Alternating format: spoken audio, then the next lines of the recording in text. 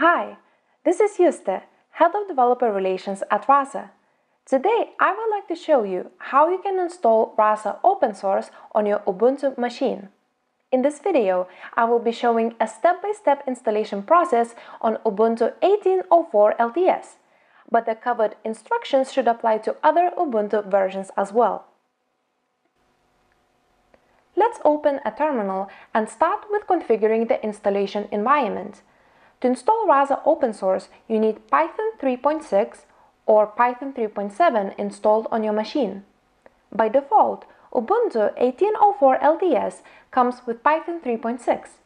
To check that you have the correct version, type python 3 version, which will print out the currently installed Python version on your machine.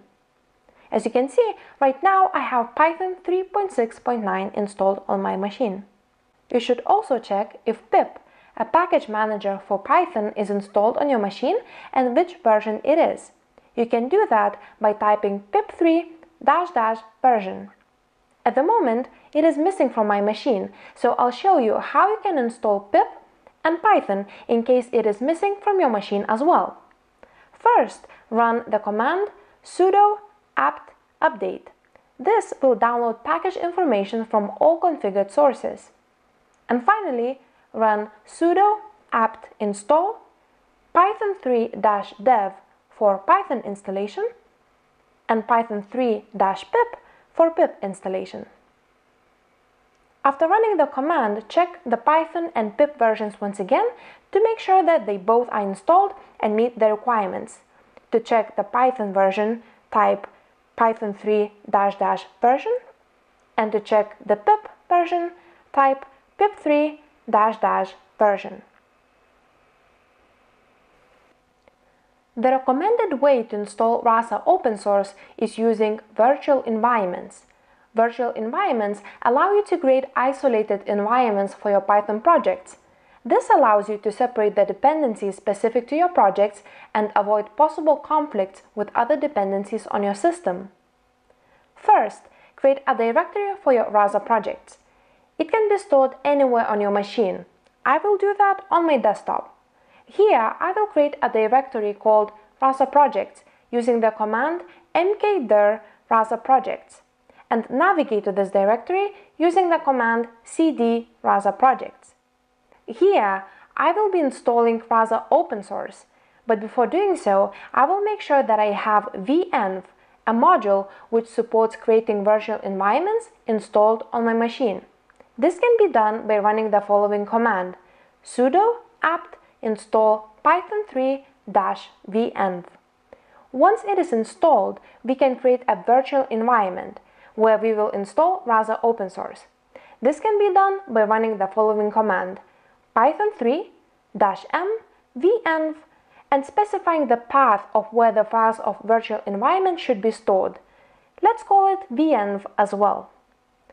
Not much will happen after running this command, but if we check our current working directory by running ls, we will see that we now have a directory venv created here. Now let's activate the virtual environment. To do that, we have to source the activate script, which is placed inside the bin folder of our virtual environment directory. So let's type source dot forward slash venv forward slash bin forward slash activate. You will know that your virtual environment is activated by checking your working environment. Inside the parentheses, you should see the name of your virtual environment. Now we are ready to install Rasa open source.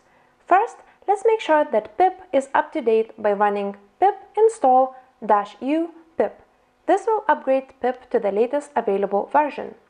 And now we can install Rasa open source by typing pip install Rasa.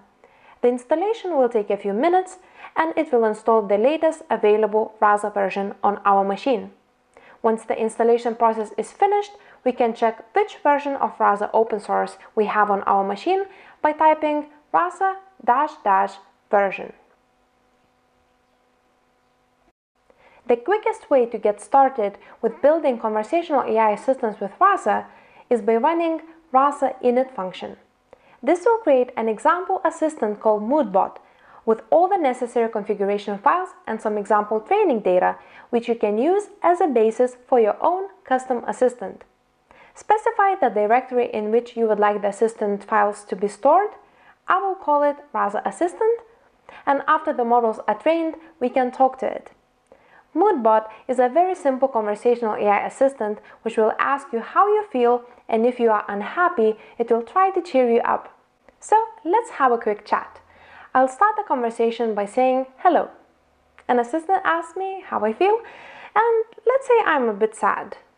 And here it is an assistant tried to cheer me up by sending a link to this picture of a cute tiger cub that definitely made me feel better. So this is how you can install Rasa open source on your Ubuntu machine and set up your first Rasa assistant. You can build on top of it, make changes, and keep exploring a very interesting world of conversational AI. Make sure to check out the Rasa documentation for more tutorials and lots of other details, and I'll see you the next time.